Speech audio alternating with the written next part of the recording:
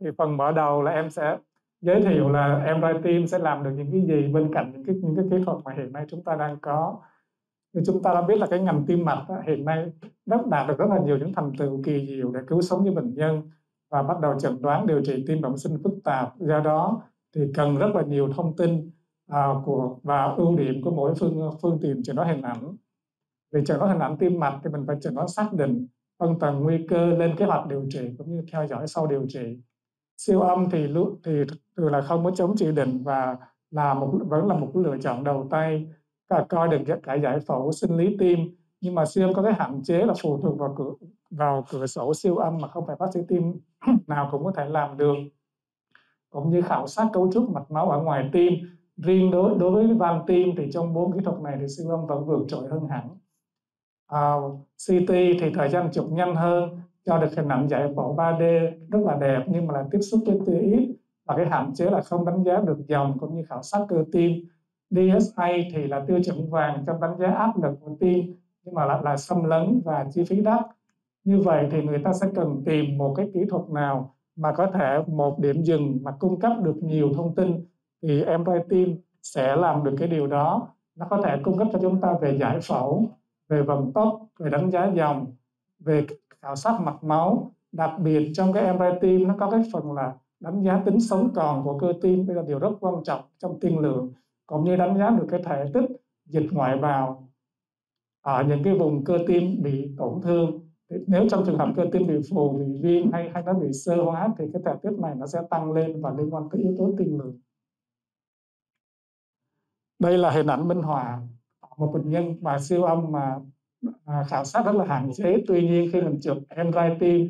thì mình thấy được là có cái thông niêm thấp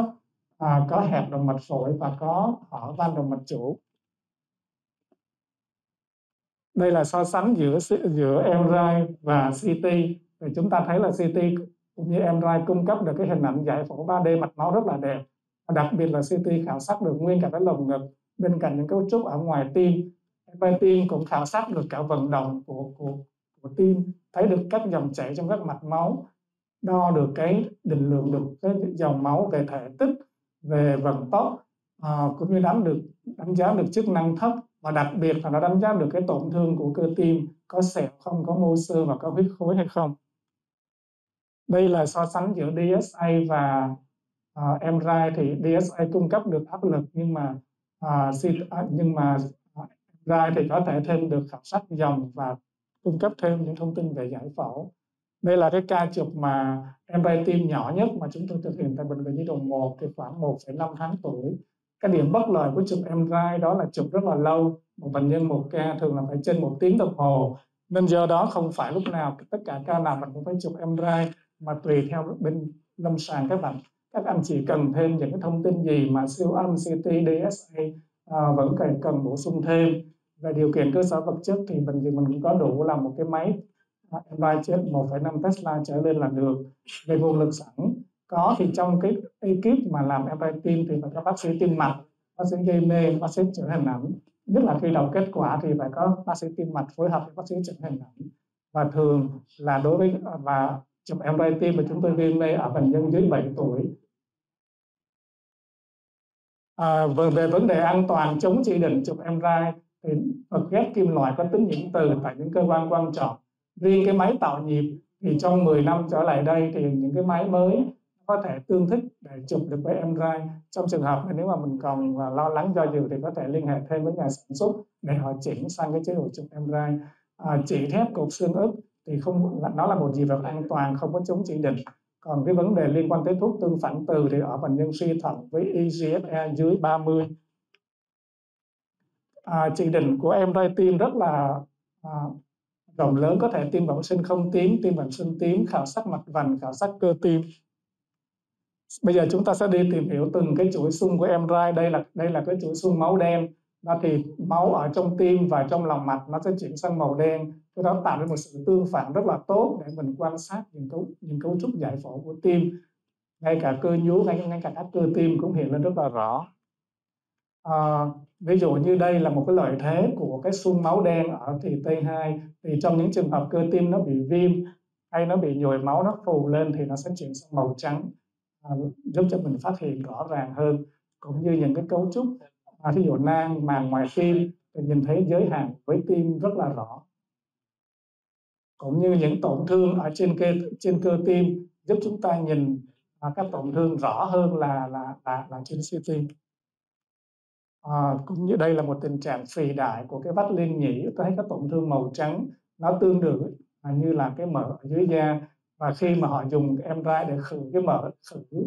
à, có cái xung khử mỡ thì cái tổn thương chuyển sang màu đen. Như vậy chứng tỏ đây là một cái tổn thương này nó có chứa mỡ. À, cũng như tình, đây, đây là một cái lymphoma ở đỉnh của thất trái là nó màu trắng giống như mỡ dưới da khi mà khử mỡ đi thì nó chuyển sang màu đen. Như vậy đấy là tổn thương chứa mỡ và như vậy bệnh nhân đỡ phải đem đi sinh thiết.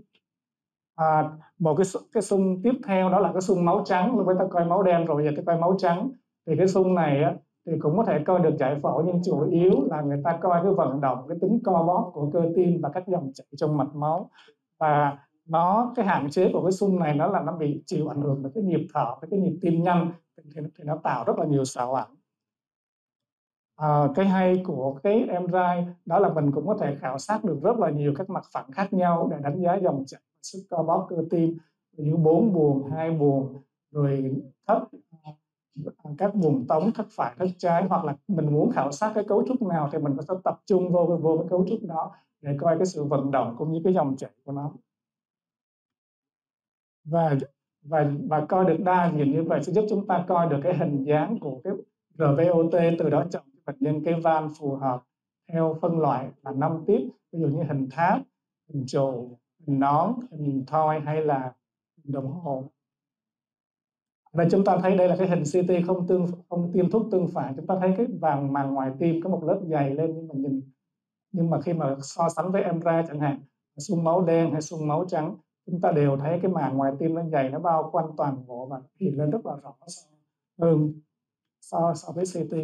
cũng về cái, đây là chúng ta thấy được cái luồng hở của van hai lá. Tuy nhiên đánh đánh giá lá van ở trên MRI thì không không, vẫn không thể bằng siêu âm được. Mà thấy một lớp dịch màng ngoài tim.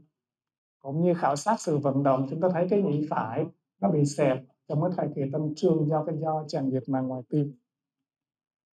Cũng như đánh giá cái sự vận động co cơ của cơ thấp, thì trong cái thời tâm thu, cái cơ thất trái cái vùng này không có dày lên mà nó vẫn còn mỏng một chuỗi xung nữa đó là giúp chúng ta đánh giá dòng các dòng máu. À, chúng chúng ta sẽ vẽ cái theo cái đường kính của cái mạch máu mà chúng ta muốn khảo sát. Và như vậy thì nó sẽ cho cho chúng ta được cái thể tích cụ thể là dòng máu bơm đi bao nhiêu dòng máu phụt ngược lại lại là bao nhiêu và cho được cái tỷ lệ cũng như là cái cái con số uh, uh, ml cụ thể như vậy. Đây là điểm rất rất, rất là có lợi so, so với siêu âm. Và như vậy thì mình có thể tính được máu lên phổi máu lên động mạch chủ tính được và dạ, chỉ số được QP trên QF mà không có cần phải xâm lấn cũng như là so sánh được xem là máu tưới máu lên hai động mạch phổi. À, nó như thế nó như thế nào? Và chúng ta có thể khảo sát được ở nhiều mặt phẳng khác nhau cũng như chọn cái yeah, và chọn được cái cấu trúc mà mình muốn khảo sát đánh giá dòng. Như vậy thì rất là lý tưởng trong những trường hợp mà mình muốn khảo sát cái tuần hoàn bằng hệ hay là những cái sân hay là hay là những cái stem ví dụ như là trong trường hợp này, cái cái sân vành rất là nhỏ thì có thể đánh giá cái lưu lượng vận tốc của nó khó trên siêu âm, nhưng mà nhờ cái, em MRI nhờ cái độ phân giải trong không gian của nó mà mình có thể khảo sát được. Một, tiếp theo là chúng ta có phần đánh giá chức năng thất thì em MRI sẽ cắt từ đỉnh tới mỏm tim. Rồi trong trường hợp thất trái chúng ta sẽ vẽ theo cái đường kính của cái thất. Mà như vậy cái hình dáng của cái thất như thế nào, chúng ta sẽ vẽ như thế đấy chúng ta sẽ điều chỉnh như vậy. Thì sẽ ra cái chức năng thất nó trung thực, đặc biệt là cái hình dáng của cái thất phải là là đánh các chức năng thất phải hạn chế trên siêu âm thì MRI nó nó lại làm, nó lại làm được. Mình có thể vẽ theo cái hình dáng của thất phải như vậy thì nếu mà có sai sót thì mình chỉ cần mình điều chỉnh cái đường vẽ này rất là dễ.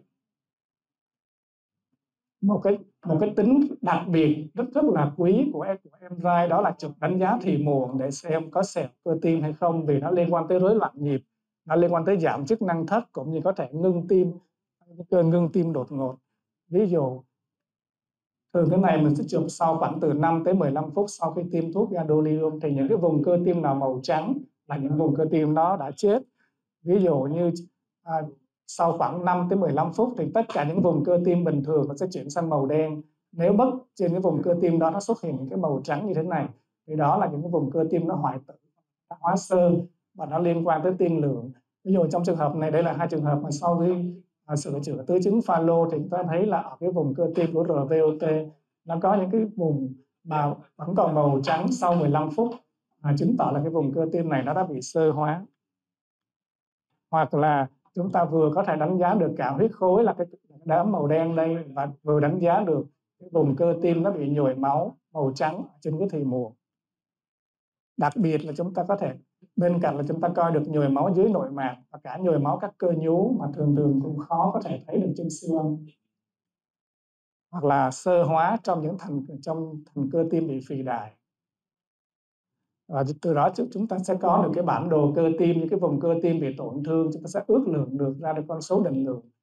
về diện tích về tỷ lệ phần trăm về khối lượng cũng như đánh giá được cái cái sự co bóp và người ta vẽ được cái biểu đồ co bóp của cơ tim.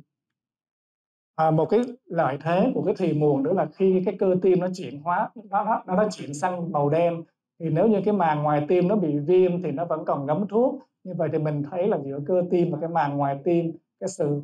à, tương phản, sự hiện rõ lên nó rất nó rất là rõ ràng. Một cái đặc tính nữa là trong cái xung mà máu trắng, mình có thể nhìn thấy được huyết khối màu đen và thường do huyết khối vô mạch nên nó sẽ không bắt thuốc tương phản.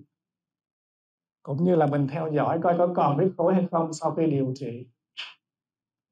Đặc biệt nó là khảo sát huyết khối dễ bị bỏ sót. Trong trường hợp này trên xương ta nghi ngờ có ở tầng sau bên thì trái nó có một cái lớp nhưng mà ta không rõ lắm. Thì trên cái MRI hình máu trắng mình cũng không mình chỉ nghi ngờ ở vùng này thôi.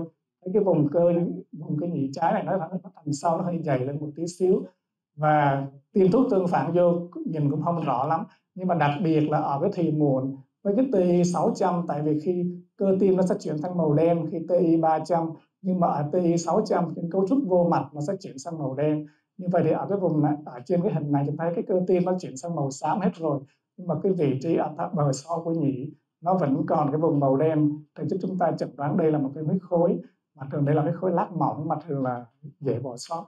Hoặc là một cái huyết khối nhỏ ở trong nhĩ trái chẳng hạn. Cả trên hình à, uh, sim cũng như là hình uh, tiêm thuốc tương phản em MRI đều rất là khó thấy. Thì khi mình chụp cái thiền muộn và chuyển cái TI sang 600 thì cái cơ tim nó màu xám nhưng mà riêng cái chỗ này nó vẫn còn màu đen để giúp chúng ta chẩn đoán một cái huyết khối.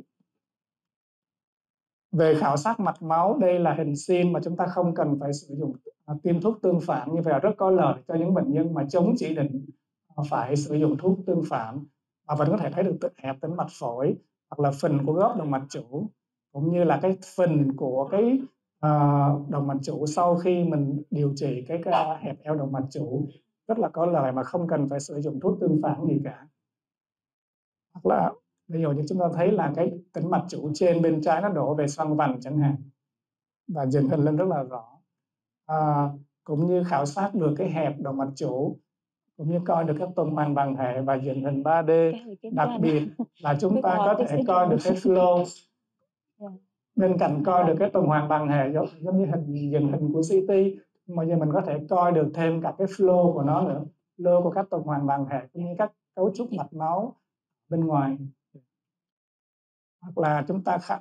sát dòng mạch máu trên 4D ví dụ như khảo sát được cái một cái cái dòng máu trong động mạch chủ, cũng như các cái dòng máu chảy trong tim để xem hướng của các dòng máu chảy như thế nào, vận tốc như thế nào, và có cọ sát làm tổn thương các thành mạch hay không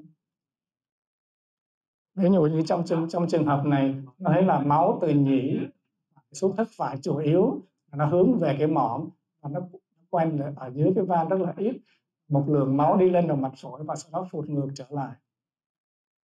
Cũng như là đánh giá, xem là ví dụ như trong trường hợp này là hậu công tan chẳng hạn, thì xem cái lượng máu từ tĩnh mạch chủ trên và tĩnh mạch chủ dưới ivo hai đầu mạch phổi là bao nhiêu, đánh giá được vận tốc cũng như lưu lượng ví dụ như chúng ta đánh cái à, đánh giá cái petition rất là nhỏ. Hoặc là đánh giá cái stent, cái đặt máu lên mặt mạch phổi sau khi đặt stent sau cái vị trí của stent uh, à, MRI cũng có thể khảo sát được mạch vành. Như túi phần của động mạch túi phần động mạch vành trong Kawasaki và cái giải phẫu bất thường của động mạch vành. Tuy nhiên do cái thời gian chụp lâu nên là hiện tại thì dùng CT để khảo sát mạch vành tốt hơn chụp nhanh hơn và cung cấp được những hình ảnh những hình ảnh tái tạo cũng rất là đẹp. Nên là à, không nên sử dụng Android à, trong khảo sát mạch vành mà dùng CT sẽ tốt hơn. Ở trẻ em tại vì do cái nhịp tim nó nhanh kích thước tim và mạch máu nhỏ do đó để có được những cái hình đẹp thì chúng tôi thường là giảm độ dày lát cắt xuống giảm cái kích thước trường trục xuống. Đặc biệt là trong trường hợp rối loạn nhịp tim hoặc là bệnh nhân không có nín thở được thì nó có cái sẵn là chuỗi sung mà mình chụp liên tục với thời gian thực như vậy thì sẽ cho được cái hình ảnh đẹp mà mà mà chụp nhá mà chụp.